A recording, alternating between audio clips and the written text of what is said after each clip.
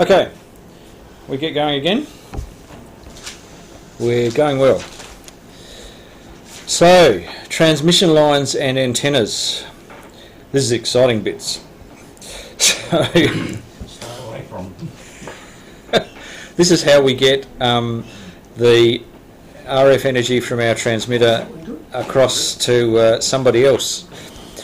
So, um, a transmission line um, is the bit between the transmitter and the antenna, sometimes called a feeder, so it feeds um, radio frequency from the transmitter to the antenna. Key thing, pardon, key thing is the size of the antenna is dependent on the frequency to be transmitted. This is a concept that you need to know. Higher frequency equals a smaller wavelength. If you remember that chart, um, which usually means it's a smaller antenna. However, lower, go lower in frequency, so come down to like HF, high frequency, is a longer wavelength, which usually means a larger antenna. So, and there's usually a, usually a question in the exam around that. Now, um, we talk about impedance. Now, all impedance is we consider it to be resistance, so it's ohms. It's measured. It's still measured in ohms, but it's resistance to alternating current, not direct current. So we talk about impedance. It's still measured in ohms, and it's resistance to alternating current to AC. Now, bit of the practical. There are two types of transmission lines. One is coaxial cable. Actually, I can give you an even better example.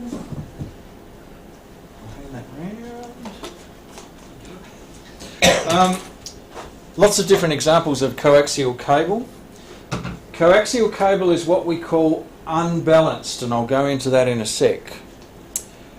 And it's usually 50 ohms, so this is its impedance, or 75 ohms. Um, all of the amateur radio stuff that we usually do is 50 ohms. The television industry, though, still use 75 ohms. your the outlet on your television, uh, which goes to your antenna, is actually at 75 ohms. That's a TV um, uh, TV standard. And it's usually you can see on there. It's usually braid on the outside. So this sort of braid on the outside, and then there is a centre conductor.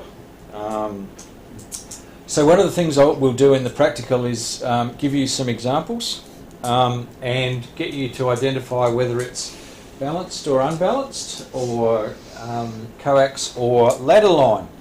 Now the other type of transmission line is what we call ladder line, or you've probably seen that. That's the old um, television television ladder line. Uh, this is slightly higher in impedance, so it can be up in this sort of region. That's 300, that's 450. Um, and there's two parallel conductors. So what we call, we actually call ladder line balanced transmission line. And the way, way I always remember balanced to unbalanced is if you've got an RF signal that's cutting through this particular line, if it cuts through ladder line, it's cutting through exactly the same signal on both lines. So it actually, what ends up happening is the signal that cuts through it is actually um, what we call balanced because it is exactly the same signal on both lines. So whereas on coax, if you, a signal cuts through that line, it'll hit the shield first before it hits the, the inside, and so you'll get much more on the shield than you will on the inside, hopefully, because that's what the shield does. um, so it's unbalanced. So, but we'll get you to uh, in the practical to identify which one it is and whether it's balanced or unbalanced. Um, we'll get you to do some testing of transmission lines with a uh, multimeter, and we'll go through how you how you use that. Um, key thing here is what we're testing is the inside, obviously, inside to inside, outside to outside, which gives us the ability to test the con- conductivity or the continuity between the end to end. but then we also test the outside to the inside to make sure there's no shorts. So, uh, so that's one of the things we'll be doing as part of the practical. I'm going to get you to identify some connectors. There's only three types of connectors that we need to identify here. One of them I already know. Okay, who wants to have a guess on this one? Hand type. N type? Yep. BNC. Two five nine. What's BNC? And 259. 259 or UHF. Doesn't really matter. PL, PL259 or SO259. P is the, the plug, S is the socket.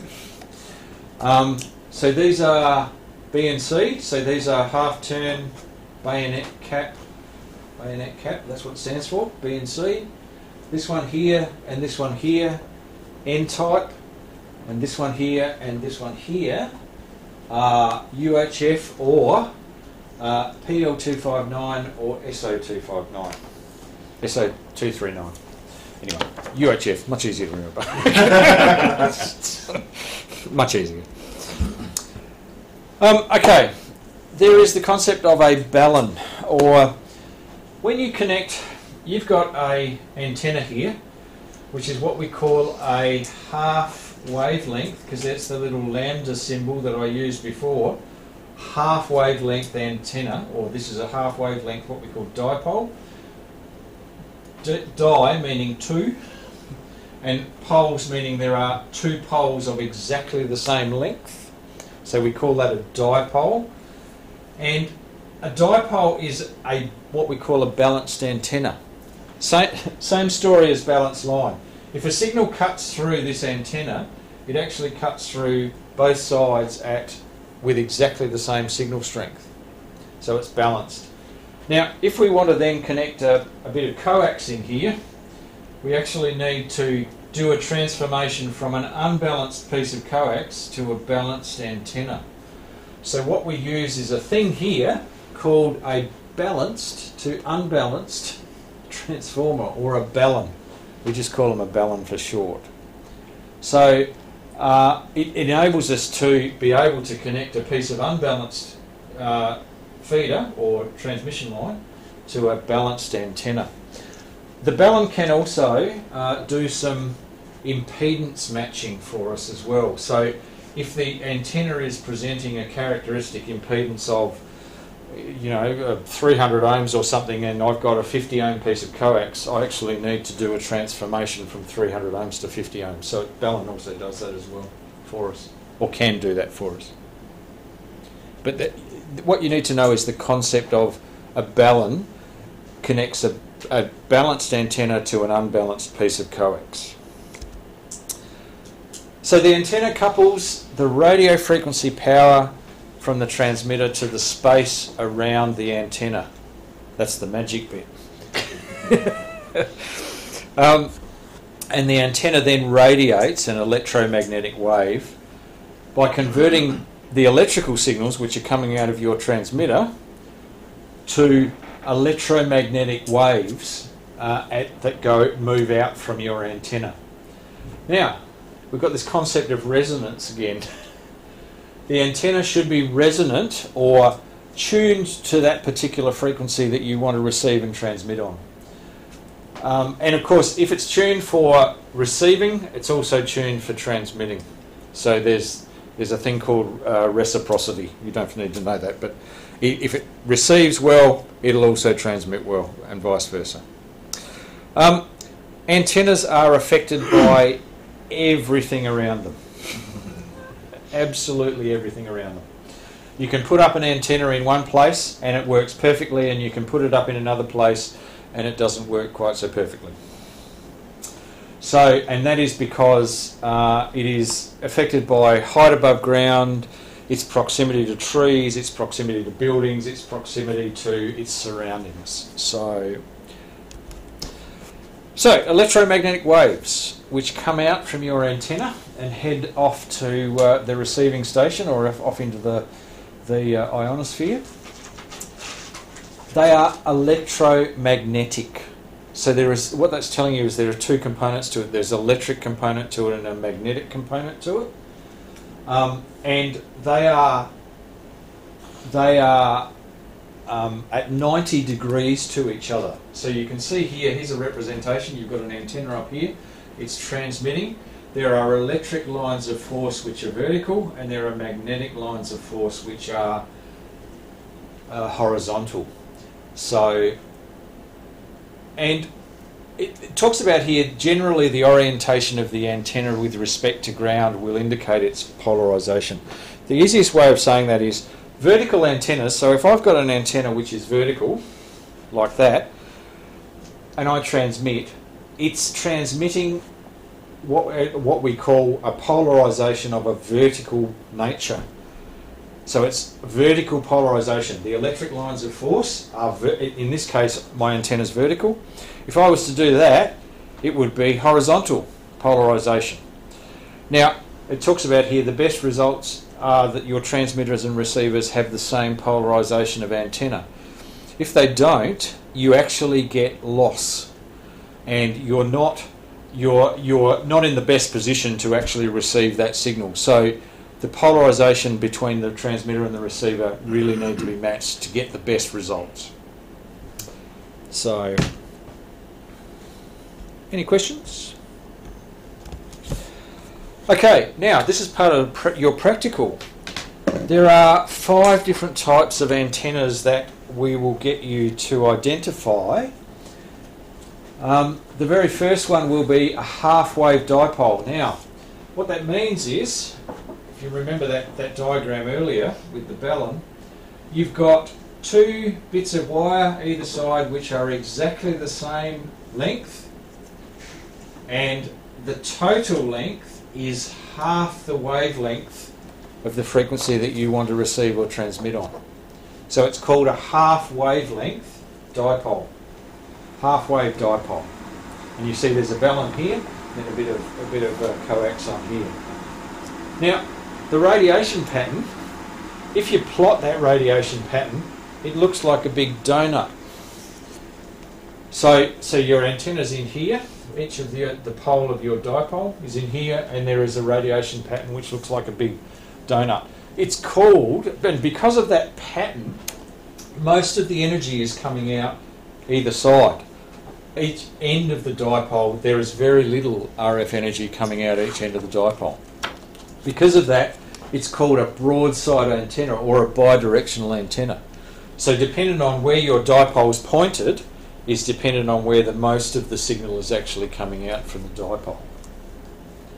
And it is horizontally polarized because it's horizontal.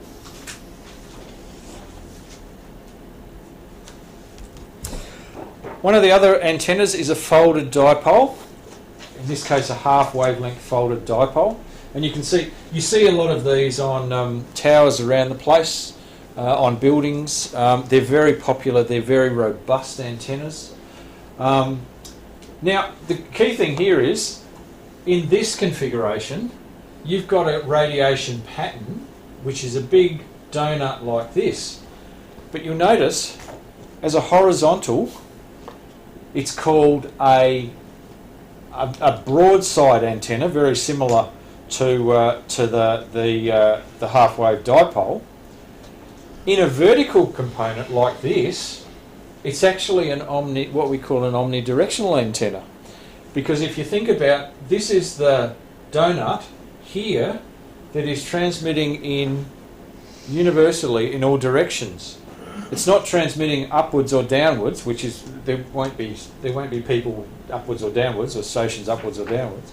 So if you turn this around, it becomes a broadside antenna. If you turn it vertically, it becomes an omnidirectional antenna. Now the, the key thing with um, with folded dipole is when you fold a dipole, the characteristic impedance is magically 300 ohms. So if you remember the old television antennas, the easiest television antenna you could ever make was a bit of um, uh, a clothes um, oh, Close, close Clo- hanger. clothes hanger. Yeah. bent into a folded dipole with a bit of 300 ohm line, and you had yourself a um, television antenna. I remember rightly, when I was a kid, we had one of those, and it was it wasn't even cables that you stuck in the back of the TV. Yeah. It worked. Spot on. it was the easiest way of doing it. Like occasionally I've seen a few cars go around with antennas With Yeah. in the cars. coat hanger. Same thing. With a yeah. coat hanger I don't, know how, I don't know how well that works, but So if you, if you bend it in the shape of Australia. you It- it works much better, coverage, yeah. Okay, another antenna that uh, I'll be getting you to identify is the quarter wave ground plane vertical. So this is literally a vertical line which has a, a quarter of a wavelength of the frequency you're wanting to receive at. And then there are some ground plane radials that come off of it. Um, and again, this is a omnidirectional antenna because the, the donut is literally it's it's uh, from a vertical perspective is in all directions. Um, the ground plane radials are usually uh, about five percent longer than the actual quarter wavelength uh, uh, vertical component. Um, and a key thing here is this is one of the easiest ele- uh, antennas to make because if you droop these radials down at 45 degrees, the characteristic impedance at the point where you connect the coax is 50 ohms. So it's really easy antenna to make. Um, an SO239 uh, connector on the bottom with a quarter wavelength bit of wire in it and some radials off the side of it, and you've got yourself an antenna in about 10 minutes. really easy. Um, the other one, Yagi. Okay, this is uh, Yagi Uda was the uh, were the two um, Japanese scientists who actually came up with this concept.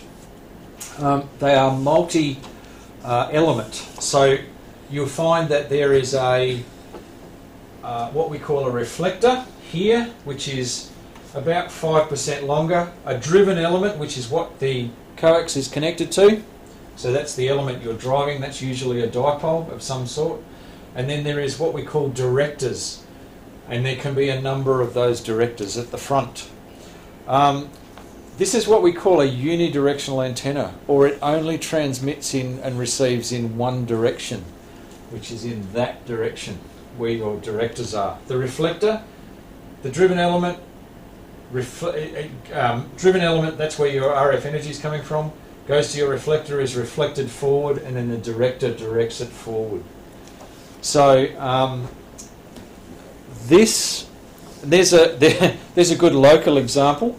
That's a um, a Yagi antenna pointed at the organ pipes, Mount Wellington, and you'll see the pattern. Oh, wow. This is a bit of a funny pattern, but the pattern you'll see, all of the energy is forward. oh wow. Now, this works in your favour because because they're unidirectional, what we say is they've got gain in one direction. And what that means is that all of the electromagnetic energy is directed in one direction instead of being, you know, omnidirectional and being directed in all sorts of directions. Now, when we talk about gain in antennas, it's usually measured in decibels. And decibels is a, a scale, logarithmic scale. Um, you don't need to know, you need to know the concept of decibels and the, uh, the commonly used decibels. And I, I've highlighted one here, which is if we say an antenna has 3 dB of gain, what we're saying is it has two times the amount of gain. So whatever you put in, you're getting two times out because it's all directing it in one direction. Um, and some of the other common ones here, 6 dB is 4 times, 10 dB is 10 times. Um, so if we say an antenna, a Yagi antenna has 3 dB of gain and I'm putting 10 watts into it, my, my, my, my foundation license 10 watts into it, the effective radiated power out the front of that antenna is actually 20 watts. So that works in your favour. So, uh, so yeah, effective radiated power um, can actually be be increased. So similar effect to having a high powered transmitter. So worth worth remembering that. Uh, and the final antenna is an end-fed antenna. So this is a um, this is a piece of wire which is about half wavelength or longer in quarter wavelength multiples, hung in the hung in the uh, the air. Uh, you've then got a little line that comes down to an, an antenna tuning unit, and then your uh, your chain, your transmitter chain. Um, it's omnidirectional. Um, very simple antenna, very easy to put up. Uh, you need a tree to sling it over or a, a mast or something. I'm glad, Um, he's, I'm glad he's earthed the antenna as well. oh yes, yes, yes, well and truly. Uh, definitely needed for uh, this type of antennas. Um, so yeah, this um, so end-fed, and the key thing here is when you see a picture, when you actually see a picture that we show you, the key the key element is it's fed from one end, end fed. That's that's telling you what it is. So instead of like a dipole which is fed in the middle, and the key thing about a dipole is both sides are exactly the same length. It's two poles. Okay, um, antenna impedance measured in ohms, um, AC resistance as I mentioned earlier. Uh, usually 50 or 75 ohms. These days, everything in amateur radio is pretty much 50 ohms. Um, the output of the transmitter, which is usually 50 ohms, needs to be matched or have the same impedance as your antenna system. And this is this is fairly critical because if it's not matched, what you're going to end up doing is all that that that um, 10 watts not all of that 10 watts is going to end up coming out of your antenna. It's going to be reflected back into your transmitter because it's not matched. So, um, and it, it mentioned there tr- mismatched transmitter outputs, transmission lines, uh, etc., can also cause power to be reflected back and forth along the transmission line. So, if it's not matched, that energy has to go somewhere, and what usually happens is it comes back down the transmission line uh, can, in some some remote uh, cases, damage your uh, damage your transmitter. That reflected wave is called a standing wave. So it sits there and goes backwards and forwards between the mismatch and your transmitter as, a, as what's called a standing wave. Now we measure that um, that standing wave with a meter, and we call it the standing wave ratio um, and it measures how well your antenna is actually matched to your uh, transmitter. So, just some mentions connected between the uh, transmitter, and I'll go into that in a sec where it, where it's actually connected. Uh, should be checked each time you change frequency just to make sure that you're still matched. Um, and checking the SWR is actually a component that we take you through in the practical and I'll, I'll show you an example. So, in the assessment, um, there'll be some questions like you've got an SWR of 2.6 to 1. so, a standing wave ratio of 2.6 to 1. That's really not good. So, is that good, bad, or indifferent, or what do you need to do?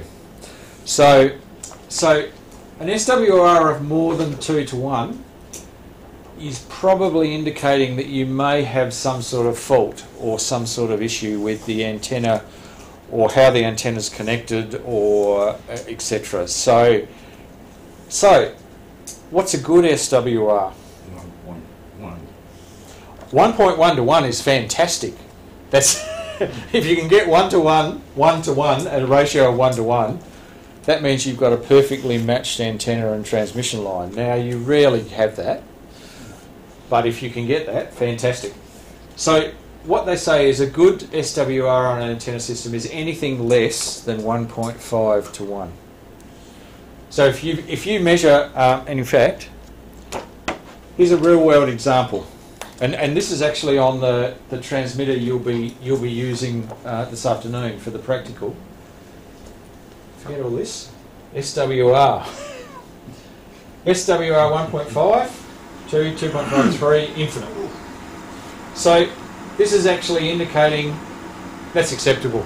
If, if you transmitted into a uh, into an antenna, and you can see up here, this is a signal and power meter. So what we've got here is we're transmitting uh, a certain amount of power, so that's great. And the SWR that it's telling me is actually less than 1.5 to 1. This is great. Wouldn't be worried about that. Go to this one. Hmm, it's about 2. So starting to worry a little bit more. On this particular transmitter, anything above 3 goes red. Might like that red. So, so on this particular transmitter, you're still transmitting power, but you've got an SWR way up here. So that's indicating that you obviously need to do something with your antenna tuning unit, or you need to do something with your antenna if you don't have an antenna tuning unit, uh, etc. So it just gives you a bit of an indication about, in this particular case, this is good. This is not bad, but yeah, you probably want to see what's going on, and this is not good at all. So, um, and we've covered that. This this just gives you an idea. That that's a this is a modern sort of transceiver. This is the sort of display you get on older transmitters that have a, a needle. You can see the SWR is the bottom scale, so one to one down here, 1.53 infinite. So anything past that point, you probably want to start worrying about. There's a power meter, so 0, 5, 10, 20, etc.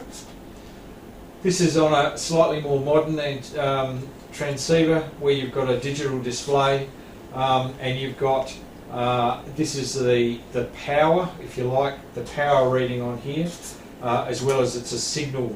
Uh, it's telling you the signal level as well. Um, so uh, and the SWR is the very faintest one on the bottom, which is one, one point five, two, three. it's right down the bottom, really hard to see there. Just. So, okay, an antenna tuning unit. And antenna tuning units can be all sorts of things. Um, this is pretty boring, it's just a black box, but you can hand it around. Um, antenna tuning unit, that's an automatic antenna tuning unit. You basically connect an antenna and a transmitter to it, start transmitting, and it will match your antenna. You hear it click away, and you'll hear it click away in the practical, uh, and, it, and it then flashes to say that it's tuned. Uh, and that's all it is. And that'll give you then acceptable down to like 1.5 to 1. That's got a whole lot of batteries in it. Batteries last about five years. Um, the um, uh, Australian Antarctic Division use those uh, quite extensively for the groups that go out on the ice. Uh, they all take HF with them, and that's the sort of antenna tuning unit they use, just as a bit of uh, local content. Um, so the antenna tuning unit basically allows you to fool the transmitter that your antenna is matched. That's what the antenna tuning unit does. It, it makes sure that uh, it balances that, that match between an antenna, and the antenna can be anything. It can be a piece of wire, it can be, you know, a, a, a bit of um, an, uh, pull-up uh, antenna, etc. And it matches so that the transmitter thinks that your antenna is 50 ohms or whatever impedance. It, it matches that. So, so yeah. It's it, it's not part of the practical, as it says here, but you do need to know what an antenna tuning unit actually does and why it's required. Now, what we will do in the practical though is we'll give you all of these components and get you to put them together in the right order. And the, the order is fairly uh, is fairly reasonably critical because um, what you're having to do here is uh, put these into the order that uh, is most effective for getting a, a working transmitting uh, arrangement. So you've got a transceiver, you've got the SWR power meter straight after it, which is telling you whether the antenna tuning unit has done its job and, and match the antenna. Now, there is a requirement for a, a, you to know what a low pass filter is. A low pass filter just lets everything through below a particular frequency. So low pass means everything below a particular frequency. It doesn't allow anything, any nasty other frequencies to go out above that, that particular frequency it's designed for. Now, what I've done here is there's a box around all three of these boxes. In most modern transmitters, all, both of these are actually included in the transceiver. They're not separate. For, for the training purposes, we've got the separate components. There's a low pass filter for you. Um, there's a SWR power meter, um, and there's the ATU. So, uh, but uh, in so in the particular transceiver you're using, there is one of these and one of these already built in. Um, so, but we'll, we'll get you to actually put these into the order that they need to be. Um, and some, uh, comment here, some even have ATUs built in as well. So, um, so they'll tune to anything. Now, the other thing is uh, a bit of knowledge about a dummy load. Now, all a dummy load is, if you have a look at the end of that, there's a whole bunch of resistors. That's what resistors look like. Uh, and if you measure the characteristic impedance of that, it's 50 ohms. So what a dummy load enables you to do is connect up a dummy load and do the, make sure that you've got your 10 watts, you, you, you're matched and all of that sort of stuff without actually transmitting on an antenna. So it's just a, a very handy little um, uh, device to enable you to get everything ready and then, then you, you're, you're confident that you can start transmitting. What happens is that RF energy is converted to heat in those resistors. So that's that, that conversion of energy.